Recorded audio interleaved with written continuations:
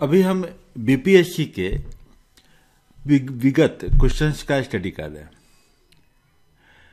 Question का study क्यों कर रहे हैं? पहला सवाल तो ये है, क्योंकि कोई भी एग्ज़ाम या यूपीएससी हो या बीपीएससी हो, उसमें बहुत ज़रूरी होता है कि आप सिलेबस को समझें और सिलेबस के साथ आप प्रीवियस ईयर्स के क्वेश्चंस को लिंक करके पहले समझें। जब तक जिस बैटल फ़ील्ड में आप जा रहे हैं, उस बैटल फ़ील्ड का पूरे टेरिटरी को आप नहीं समझेंगे। आप सीधे कूदेंगे अनगाइडेड मिसाइल की तरह तो आपका टारगेट हिट नहीं करेगा, आप फेलियर में होंगे। मैं यूपीएससी जब क्वालिफाई किया, तब से आज तक, या बीपीएससी भी मैंने क्वालिफाई किया, तब से आज तक मैं यही मूल मंत्र दे रहा हूँ कि you be a guided missile कम मेहनत कम टाइम में कैसे पढ़ा जाए स्ट्रैटेजी क्या होनी चाहिए कि आप एग्ज़ाम को क्रैक करें। एक नंबर से आपका एग्ज़ाम छूटे या 25 नंबर से छूटे। बात बराबर है फेल्योर इज़ फेल्योर लेकिन एक तरीका हो सकता है कि आप एग्ज़ाम में बहुत ऊपर नंबर ला सकते हैं।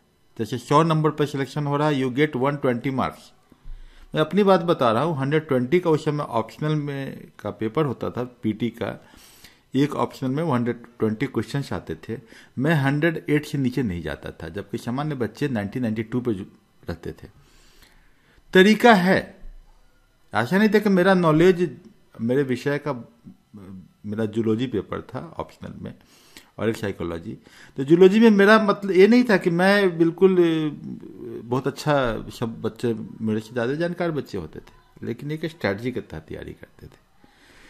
वही स्ट्रैटेजी मैं बताने जा रहा हूँ। एग्ज़ाम क्रैक करने की स्ट्रैटेजी कि कैसे आप वैज्ञानिक ढंग से चीज़ों को समझेंगे कि सर्जिकल ऑपरेशन की तरह आप 120 मार्क्स बीपीएससी में ले आएँगे। प्रश्न पत्र के साथ हम इतिहास को पढ़ रहे हैं। अभी हम क्या कर रहे हैं? इतिहास पे एक सर्जिकल ऑपरेशन कर रहे हैं। क्वेश्चन कहाँ से आता है? क्यों इस डोमेन से आ रहा है? Domain D O M A I N domain में बोल रहा हूँ। याद रखिएगा डोमेन स्टडी कहाँ से आ रहा है? क्यों आ रहा है?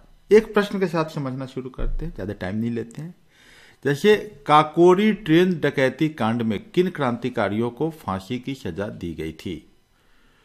Who were the revolutionaries were executed in Kakori train robbery case Kakori भाई साहब, पहले तो जानिए, थोड़ा इन जा रहे हैं, क्योंकि क्वेश्चन का एनालिसिस हम हिस्ट्री पर है। काकोरी है कहा? ये शाहजहांबाद से लखनऊ के बीच की एक जगह है, एक काकोरी रेलवे स्टेशन है।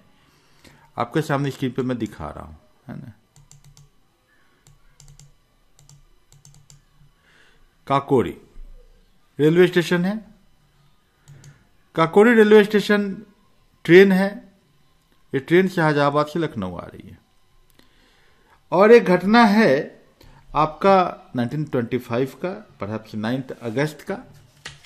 Ninth August 1925 yes Hindustan Republican Association H R A उस समय नाम था, बाद में नाम हो गया हिंदुस्तान सोशलिस्ट रिपब्लिकन एसोसिएशन 1925 ये ल्यूमिनरीज ये लोग ने फॉर्म किया था एक, कि नहीं रिवोल्यूशनरी वे में विपन से लिया जा सकता है। Gandhi was not in favour of that Gandhi बोलते थे means are more important than the end means बहुत ज़्यादा महत्वपूर्ण होता है।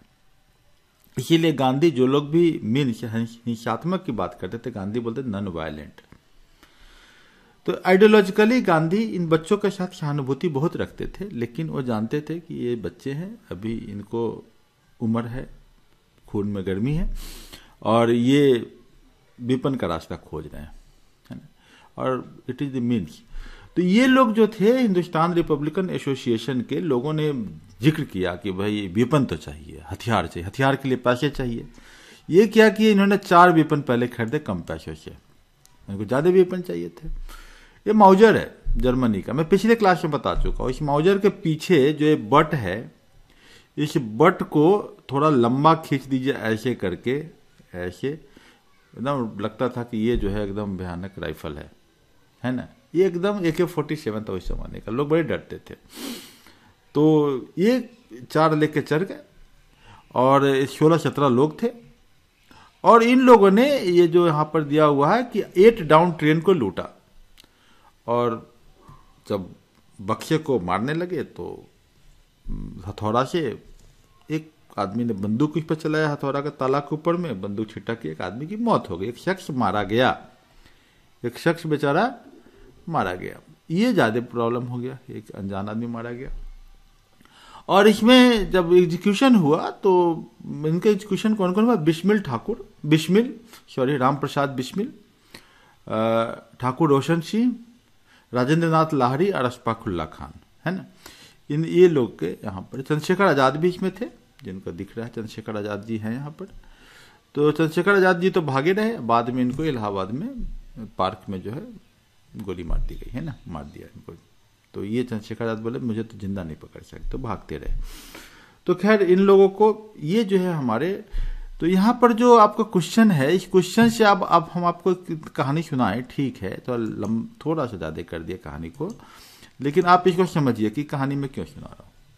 क्योंकि यहाँ पर आप जो ऑप्शन देख रहे हैं, इस ऑप्शन के स्टडी से हिस्ट्री पढ़ सकते हैं। बहुत इंपॉर्टेंट कंसेप्ट है माई डियर स्टूडेंट क्योंकि एग्जामिनर ने, मैं क्वेश्चन सेटर रह चुका हूँ, है ना? मैं आपको माइंडसेट बताता हूँ एग्जामिनर जो क्वेश्चन सेट करता है। क्योंकि एग्जामिनर जो चार ऑप्शन देता है, वो चार ऑप्शन आपके सिलेबस के इर्द गिर्द से ही देता है कन्फ्यूज़न क्रिएट करने के यही साइकोमेट्री है। जो साइकोमेट्री की हम बात कर रहे हैं साइकोमेट्री साइकोमेट्री एक अप्रोच है जिसके द्वारा आप साइकोलॉजिकल बेसिस पर क्वेश्चंस में ऑब्जेक्ट डालते हैं। मतलब ऑप्शंस तो यहाँ पर इन्होंने क्या किया है? डाला है वीर सावरकर, वासुदेव चापेकर, प्रफुल्ल चाकी, खुदीराम बोस सूर्यसेन उधम सिंह, ये भी, हालाँकि आंसर क्या है? राम प्रसाद बिस्मिल, अशफाकुल्ला। लेकिन यहाँ पर ये भी आपको जानना चाहिए। इनके बारे में क्या नाम बोला मैंने? वीर सावरकर। बड़ा महत्वपूर्ण है आज के संदर्भ में वीर सावरकर से प्रश्न पूछे जाने की उम्मीद आप कर सकते हैं। तो वीर सावरकर आपके क्वेश्चंस के परिफ्री में आते हैं। प्रफुल्ल चाकी खुदीराम बोस, ये किस, कब थे? कैसे थे? मुजफ्फरपुर में इनको एजुकेशन हुआ था। सूर्य सेन, एक अलग, उधम सिंह, इनको। तो भाई, ये काकोरी कॉन्स्पिरेसी केस से संबंध लेते हुए हम रिवोल्यूशनरी टेररिज्म चैप्टर को थोड़ा ढंग से पढ़े। रिवोल्यूशनरी टेररिज्म इस चैप्टर को ढंग से पढ़ने की ज़रूरत है, क्योंकि एक क्वेश्चन यहाँ से आ रहा है। इसके अलावा इनके पर्सनलिटी को समझना, इतिहास में जब व्यक्ति के व्यक्तित्व को समझ लेते हैं, समय को समझते who and when and how यही इतिहास है। अब पीछे का वाई से मेन्स में क्वेश्चन आ जाते हैं, यही है ना? Who when how why and how where भी है टाइम फ्रेम है ना? एंड प्लेस ये तो इतिहास में हमारा क्लास है आई के बच्चों को जो हम पढ़ाते हैं कि four W one H how it it work in history अब हम आते हैं राम प्रसाद बिस्मिल जी का। राम प्रसाद बिस्मिल जी का जो पर आप विकीपीडिया में आपको पढ़ना चाहिए, देखना चाहिए। एक क्वेश्चन और पूछा था पिछले क्लास में। शायद मैंने उसका उत्तर आपको बताया था। शर्फ फरोशी की तमन्ना अब हमारे दिल में है, उसमें सही ऑप्शन नहीं दिया था राम प्रसाद बिस्मिल दिया था। उन्होंने इस गीत को पॉपुलर किया था फांसी के टाइम में। इसको लिखा है शर्फ फरोशी की तमन्ना बिस्मिल अजीमावादी ने। लिख लीजिए। बिस्मिल। अजीमाबादी ने तो ज़रूरी है एक चीज़ और समझने का बीपीएससी के ट्रेंड से कि कौन सा नारा को किसने गढ़ा था। पॉपुलराइज किसी ने किया? गढ़ा किसने? जैसे इनकलाब जिंदाबाद किसने किया? जय हिंद किसने बोला? किसने उसको पॉपुलराइज किया? अलग है, गढ़ने वाले अलग होंगे।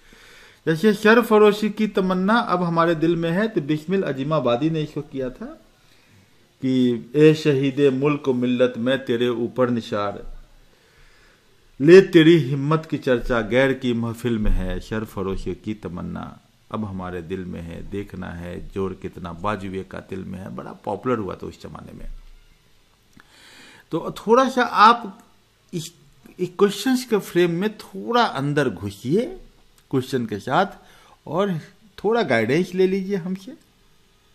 और आप उस इतिहास को पढ़ जाइए। बड़ा समसामिक होगा, बड़ा अच्छा लगेगा। कोई क्वेश्चन भी पूछा है, कैसे पूछता है, अगला क्वेश्चन का ट्रेंड क्या हो सकता है? उस पर्सपेक्टिव में प्रोबिंग कीजिए प्रोब कीजिए इस पर्सपेक्टिव में। मतलब प्रोबिंग मतलब कि कैसे क्वेश्चन पूछा पूछागा जासूस की तरह। तो भाई साहब, आप पढ़ ले जाएँगे। मन भी लगेगा पढ़ने में। है ना? तो एक क्वेश्चन से आप उसके डोमेन में घुस जाइए और डोमेन का स्टडी कीजिए। मैं आपको गारंटी देता हूँ कि सामान्य वे में जो क्वेश्चन पढ़ाए जाते हैं लोगों के द्वारा, हमारे बहुत सारे टीचर्स के द्वारा, उसके द्वारा आप क्वेश्चन को आप हिस्ट्री नहीं पढ़ पाएँगे या सब्जेक्ट नहीं पढ़ पाएँगे। लेकिन ज़रूरी है वो खाली आपको नॉलेज देता है। नॉलेज नहीं यू रिक्वायर्ड विजडम सोचना कि कैसे हम अंदर घुस के हम वहाँ से पूरा डोमेन पढ़ लेंगे और बड़ा स्ट्रैटेजी स्ट्रैटेजी मेरा बड़ा क्लियर टाइम भी कम लगेगा इसमें। टाइम कम लगेगा क्वेश्चन भी वहाँ पकड़ा जाएगा, सही आंसर भी आप देंगे और आप ज़्यादा करेंगे। आप निश्चिंत मानिए, इस तरीके से अगर आप पंद्रह दिन पढ़ लेते हैं, पाँच साल के विगत क्वेश्चंस को, यकीन मानिए कि आप बिल्कुल उस मार्जिन पर पहुँच जाएँगे जहाँ पर कि सिलेक्शन शुरू होता है। लेकिन मेरा है कि मान लिया हंड्रेड पर सिलेक्शन हो रहा है तो I require hundred twenty marks और इस हंड्रेड ट्वेंटी मार्क्स के लिए फिर हम थोड़ा और आपको आइडिया बताएँगे कि हाउ विल यू अटैक ठीक है? तो चलिए एक क्वेश्चन से हम समझ गए। अब जैसे कि अब यहाँ एक वीर सावरकर की बात हुई। वीर सावरकर को समझना, पढ़ना बहुत ज़रूरी है। जब वीर सावरकर की बात करेंगे तो किसकी हम बात करेंगे दोबारा में? हम बात करेंगे वीर सावरकर। मीन्स यहाँ पर हम बात करेंगे अभिनव भारत का। अभिनव भारत। जब अभिनव भारत की बात करेंगे तो भाई कहा? महाराष्ट्र। सावरकर जी इंग्लैंड गए। इंग्लैंड में वो श्यामजी कृष्ण वर्मा के संपर्क में आए। श्यामजी कृष्ण वर्मा कौन थे भाई? ये इंडिया हाउस के संस्थापक थे। देखिए, अब हिस्ट्री समझते जा रहे India House. India House London में था। नेशनलिस्ट थॉट के लिए जगह जानी गई। भाई जब जानी गई इंग्लैंड में मतलब कि जहाँ पे जो है एकदम चिराग तले, अंधेरा तो नहीं होता, चिराग तले आदमी पकड़ लेता है, अंधेरा होता है, वहाँ खोल लिया तो इंडिया हाउस, लेकिन पकड़ा गया। स्कॉटलैंड यार्ड जो इंग्लैंड की जासूसी संस्था है, इंडियन इंटेलिजेंस एजेंसी थी, ये सब उन्हें पकड़ लिया कि भाई ये तो शेडिशन कर रहे हैं। ये देश के विरुद्ध में एक माहौल खराब कर रहे हैं। शेडिशन है। तो इसको बैन कर दिया, इंडिया हाउस को। श्याम जी कृष्ण वर्मा इसके फाउंडर थे इंडिया हाउस के। क्वेश्चन एक बार आ गया। इंडिया हाउस के क्वेश्चन हमेशा आएगा क्योंकि वहाँ जो रिवोल्यूशनरी टेररिज्म के अंदर में हम कौन सा वर्ड यूज़ किए थे पिछले अभी थोड़ी देर पहले? रिवोल्यूशनरी टेररिज्म रिवोल्यूशनरी टेररिज्म के अंदर में ये इंडिया हाउस जो है, ये महत्वपूर्ण है, और इस इंडिया हाउस में आपके जो लोग हैं इंडिया हाउस कब बना था? इंडिया हाउस हम कहा बात कर रहे थे? इंडिया हाउस इंडिया हाउस बना था आपको 1905 से 1910 तक था। पाँच साल चला, लेकिन ठीक है, पकड़ लिया गया पॉलिटिकल एक्टिविज्म था बैन किया गया था। इसमें विनायक दामोदर सावरकर है, भिखाजी कामा भी यहीं पर है। भिखाजी कामा याद कीजिए, फिर क्वेश्चन पूछा है। भिखाजी कामा वहाँ पर है। इंडिया हाउस स्कॉलरशिप पे बच्चों को बुला लेता था। तेज बच्चों को, ठीक है? तो बुला लेता था, लोग कांटेक्ट में आते थे और इसके अंदर में नेशनलिज्म डालना और रिवोल्यूशनरी टूरिज़्म के बीज डालना शुरू होता था।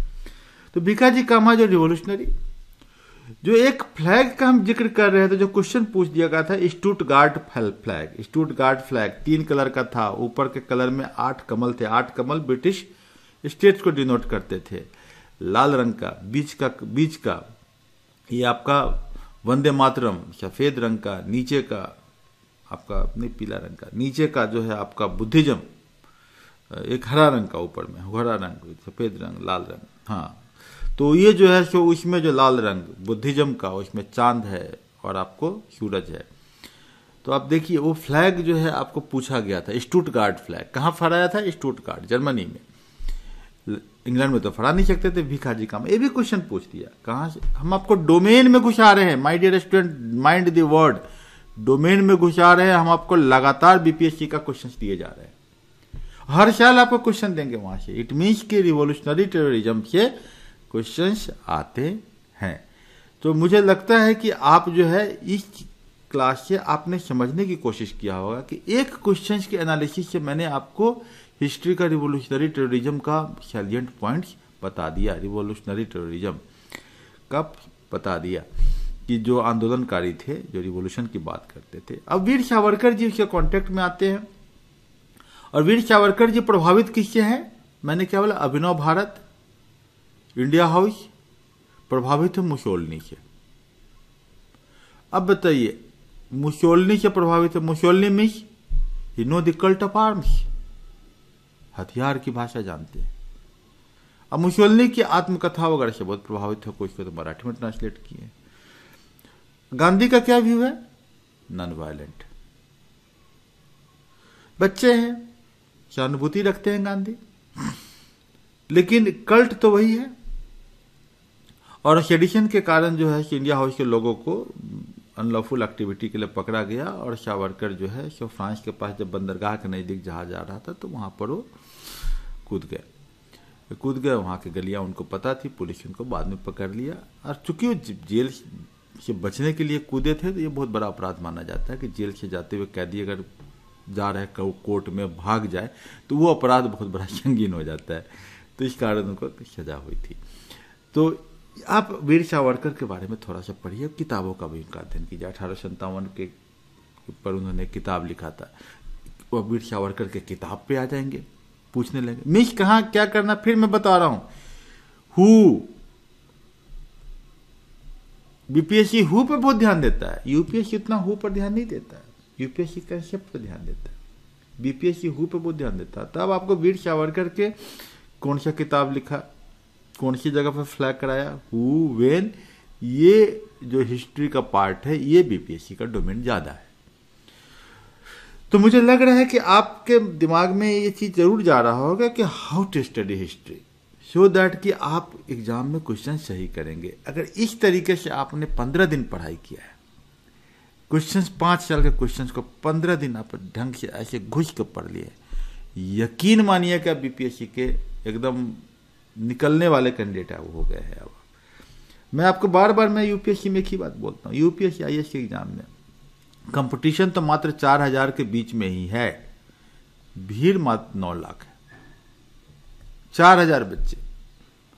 जो कि एक स्ट्रैटेजी के तहत अटैक किए हुए रहते हैं। और निकलते ही हैं। इस साल नहीं तो अगले साल निकल ही जाएँगे। उनको कोई नहीं रोक सकता है। निकल जाएँगे वो। उनका निकलना है।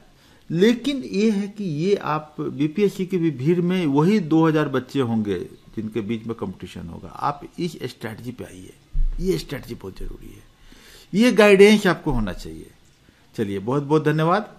मुझे लगता है कि आप मेरे कुछ कंसेप्ट को समझे। मैंने अभी एक ही क्वेश्चन का स्टडी किया है। थोड़ा सा समझ लेते अब जैसे कि एक क्वेश्चन यहाँ पर देखिए। लंदन में इंडिया हाउस के संस्थापक कौन थे? श्याम जी कृष्ण वर्मा। अब भैया, इसमें राज बिहारी बोस का नाम। देख लीजिए। राज बिहारी बोस कौन थे? रामचंद्र जी कौन है? तारक दास कौन है? पढ़ लीजिएगा थोड़ा सा, है ना? भागलपुर में नमक सत्याग्रह का नेतृत्व किसने किया था? तो नमक सत्याग्रह भारत में और नमक सत्याग्रह बिहार में। क्योंकि बिहार का इतिहास पढ़ना, याद कीजिए सिलेबस में। नमक सत्याग्रह वहाँ है तो नमक सत्याग्रह बिहार में भी है। बड़ा डिफ़िकल्ट क्वेश्चन है। लेकिन हमारे कुछ भाइयों ने गाइड वुड में इसको रखा है। मैं इसको अलग से पढ़ाऊँगा। जैसे कि 120 का में मैं आपको क्या बोला? क्वेश्चन के स्टडी से अगर सौ पे सिलेक्शन होता तो मैं सौ, एक सौ दो पर तो पहुँचा ही दूँगा। इन इन कुछ क्वेश्चंस के लिए आपको मैं स्पेशल क्लास लूँगा। क्योंकि इस तरह के क्वेश्चन थोड़े बढ़ने चाहिए। तो इसे दो चार पाँच क्वेश्चन बताना। अदरवाइज़ ये क्वेश्चन आपके गलत होने की संभावना रहती है। स्पेशल क्लास कहाँ से लूँगा? भाई एक जागरण जोश ने जनरल नॉलेज में मॉडर्न हिस्ट्री ऑफ़ इंडिया ये मैं लिंक दे देता हूँ। यहाँ पर कुछ दिया है। बिहार से संबंधित। तो बिहार के संबंधित चीज़ों को हमें बिहार के इतिहास, बिहार का भूगोल में पढ़ने की ज़रूरत होती है, होगी। अब ये क्वेश्चन है, उन्नीस में बिहार में अंबारी सत्याग्रह का नेतृत्व किसने किया था? डिफ़िकल्ट क्वेश्चन है। नॉर्मल नहीं पढ़ा जा सकता है। अब राहुल संस्कृत्यान आप पढ़ लेंगे, लेकिन अंबारी सत्याग्रह का ज़िक्र नहीं आएगा। ये बिहार का कुछ कंपाइलेशन हैं, जो हम लोग बनाए हुए हैं। क्योंकि कुछ तो भाई गेम कुछ मसाला ऐसा जो, जो कारीगर जानता है जो डालता तभी तड़का लगता है। नहीं तो वो तड़का का मसाला जो है वो अलग से क्लास बनाए जाते हैं बनाए गए हैं। ताकि आप सौ पर तो आप वैसे ही पहुँच जाएँगे। क्वेश्चन का स्टडी करते ही करते आप देखिएगा कि सौ क्वेश्चन तो हम सही मार ले जाएँगे। लेकिन हमको पहुँचना एक सौ बीस तक है। कुछ स्ट्रैटी और कुछ इस तरह के स्पेशल रेसिपी जो विशेष पकवान है वो मैं आपको अलग से बनाना का मात्रा सिखा दूँगा। तो अंबारी सत्याग्रह राहुल संकीर्तान है। राहुल संकीर्तान का बायोडाटा पढ़ना चाहिए आपको। ये बड़े इंपॉर्टेंट हैं। इनको आपको जानना होगा। रीजन इज़ दैट कि घुमक्कर है बौद्धिज्म हिंदुइज्म पॉलीग्लॉट है, बहुत भाषा जानते हैं। विदेशों में रहे, रशिया में पढ़ाए, बाद में श्रीलंका चले गए। इतने बड़े विभूति हैं आपके रीजन के तो आपको तो जानना ही चाहिए। आधुनिक बिहार का निर्माता किसे कहा जाता है? शशिदानंद सिन्हा शशिदानंद सिन्हा का सिन्हा लाइब्रेरी भी है पटना में, है ना? जाते जाते आपको पटना का तो थोड़ा, कभी खुदा बख्श का लाइब्रेरी, कभी शशिदानंद सिन्हा लाइब्रेरी सिन्हा लाइब्रेरी, चला जाना चाहिए। क्योंकि वहाँ से आपको एक दो क्वेश्चन पता नहीं, घूम रहे म्यूज़ियम में चले जाइए, बिहार म्यूज़ियम में, कभी मौका मिले, ज़रूर जाइए। एक दिन आप लगाइए, मज़े से घूमिए वहाँ पा, चाट पकौड़ा खाइए। लेकिन बात है कि वहाँ पर घूमने पर एक एक सेक्शन में थोड़ा टाइम देंगे। मैं बता रहा हूँ, एक बार मैं म्यूज़ियम में गया और संजोग ऐसा था कि एक बच्चों को न्यूमिस्मेटिक्स वाला सेक्शन में ले जाके मैं पढ़ा रहा था। तो उसको इतना अच्छा न्यूमिस्मेटिक्स हो गया था। संजोग से उसी साल यूपीएससी में न्यूमिस्मेटिक्स से क्वेश्चन पूछा था। तो वो भी याद कर रहा था सर आप म्यूज़ियम में ले गए थे मुझे घुमाने। हम बारह तेरह बच्चे के साथ में गया था। तो यूपीएससी वाले सब थे। तो ये है आपका एक तो आप घूम लीजिए। तो sir Ganesh ji, Acharya Narendra Dev socialist thought के बारे में आप समझ लेंगे। इस तरीके से थोड़ा क्वेश्चन पूछे सचिदानंद सिन्हा, बड़ा इंटरेस्टिंग है। ये सुप्रीम कोर्ट में लॉयर थे। बैरिस्टर थे। लंदन से पढ़ाई करके आए थे। और, चले आए कांग्रेस में। बाद में इंपीरियल लेजिस्लेटिव काउंसिल में आ गए। इंपीरियल लेजिस्लेटिव काउंसिल में कर, मतलब कि हमें लगता है कि ये 1910-20 के बीच में आ गए होंगे। इंडियन लेजिस्लेटिव असेंबली में थे डिप्टी प्रेसिडेंट ऑफ़ बिहार थे। अब बोले प्रेसिडेंट ऑफ़ बिहार पढ़ लीजिएगा। 1935 के इर्द गिर्द में क्या घटना घटी थी कि बिहार में प्रेसिडेंट हुए थे है ना? ये याद मोहम्मद यूनिस कौन थे? तो ये सब पढ़ लीजिएगा। और नाइन्थ दिसंबर 1946 को जब कॉन्स्टिट्यूंट असेंबली में चुन लिए गए, और टेम्प्ररी प्रेसिडेंट थे, ये भी बड़ा इंपॉर्टेंट है। और जब कॉन्स्टिट्यूशन बन रहा था तो पटना में थे, साइन कराने के लिए कॉन्स्टिट्यूशन का वो जो ओरिजिनल डॉक्यूमेंट यहाँ आया था पटना, और यहाँ ये साइन किए थे, शशिदानंद सिन्हा। तो आप इनके बारे में थोड़ा पढ़िएगा। कॉन्स्टिट्यूंट असेंबली के कॉन्टेक्स्ट में भी क्वेश्चन हो सकते हैं। बिहार में कांग्रेस अधिवेशन से संबंधित क्वेश्चन हो सकते हैं। देखिए, बिहार के इतिहास के अंदर में घुसने की ज़रूरत होती है। वो मैं अलग से पढ़ाऊँगा ही पढ़ाऊँगा, लेकिन आप समझिए कि लिंक करना कैसे होता है। तो मुझे लगता है कि आप जो है, इतने परिप्रेक्ष्य में जो मैंने सात आठ क्वेश्चंस का स्टडी किया, उसके परिप्रेक्ष्य में हिस्ट्री को पढ़ना सीख जाएँगे। देखिए, मैं आपको खाना मुँह में नहीं खिलाऊँगा, मैं खेती करना सिखा दूँगा, ताकि आप अपने टीचर आप खुद बन सकते क्योंकि मेरा कंसेप्ट है अप दीपो भव, अपना प्रकाश खुद बनो। कौन बोले थे? महात्मा बुद्ध कब बोले थे? जब उनका महापरिनिर्वाण हो रहा था। महापरिनिर्वाण था मल्ल की राजधानी कुशीनगर में, शाल वृक्ष के नीचे। आनंद को बोलते हैं, पानी लेके आओ। और आनंद बोलता, आप मैं तो नहीं बनूँगा मैं अरिहंत नहीं हो पाया। अरिहंत क्या ये भी समझ लीजिएगा। तो बोलते हैं कि आप अपना प्रकाश खुद बनो। आपके बाद कौन मेरा गुरु होगा? तो बी योर ओन टीचर, अप दीपो भवा। तो मैं आपको अपना टीचर खुद बना रहा हूँ। तो कुशीनगर का जो परिप्रेक्ष्य है वहाँ से महात्मा बुद्ध ने जो दिया था व्याख्यान, उस कॉन्टेक्स्ट से आप, मैं आपको पढ़ा रहा हूँ कि आपको बड़ा आसान, बड़ा मज़ा आएगा पढ़ने में। धन्यवाद माय डियर स्टूडेंट